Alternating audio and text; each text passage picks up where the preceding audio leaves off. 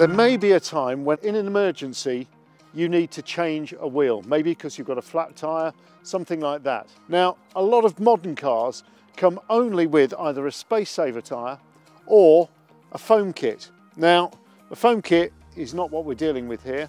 They have to be used in conjunction with a compressor here. We're going to keep the compressor because that's useful for checking the inflation of the tyre that we're going to fit.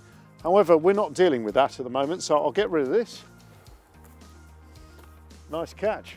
First thing is safety. Safety is absolutely paramount. Includes a safety triangle set behind the car and get yourself some high vis on to make you far more visible to other road users. Now if you've covered all of those aspects and you know that everything is clear, everyone's safely out of the car, then you can make a start.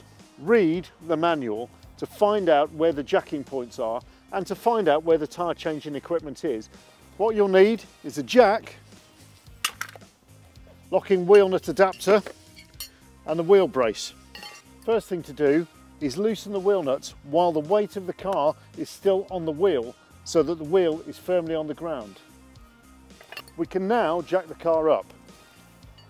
Locate the jacking point and then start to raise the jack and get it into position. It must be in exactly the right position.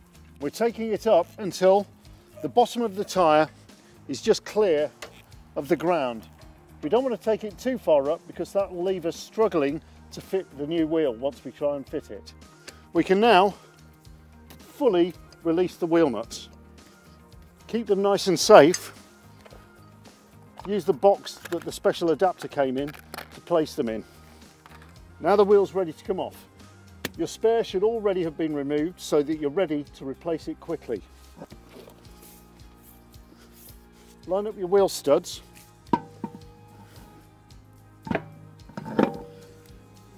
And push the wheel home. Start fitting the wheel nuts again. Tighten the wheel nuts just so they start to pull the wheel up to the face of the hub but don't over tighten them at this point. The wheel is now basically secured onto the hub, but the wheel nuts are not yet tight enough. We can't tighten them until we've got the weight of the car back down on the ground, on the tyre, on the wheel, and we can remove the jack. And at that point, and that point only, can we start to tighten those nuts. Get your extension into the jack, and then let the car down onto the ground again.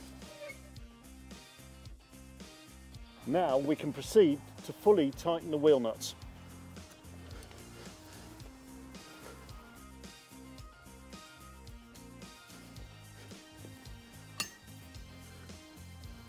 Our wheel is now in place and safe to be driven on.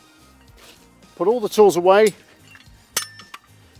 You don't have to pack them neatly at this point if you need to get away from the area.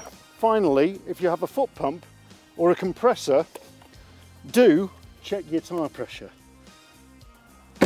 Right, we're done. We're ready to get on our journey again. I hope this has been useful for you and if you want to see more useful hints and tips, check the link.